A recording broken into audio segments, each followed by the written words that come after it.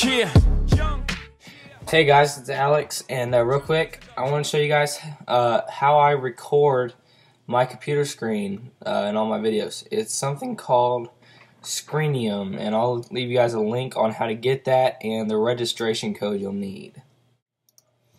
I think it's the best uh, screen recording program there is. Um, it's real simple to use. Um, change the size, um, the frames and everything. Uh, audio, I use a built-in mic because it's what I have. Camera, you can make a camera show on there. Uh, use your sight or a, a, external camera. Your mouse. Um, change all kinds of settings on that.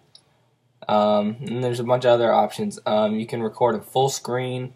Uh, you can change where it records by using your mouse and like making a making a thing like this. Um, or you can record just a single window.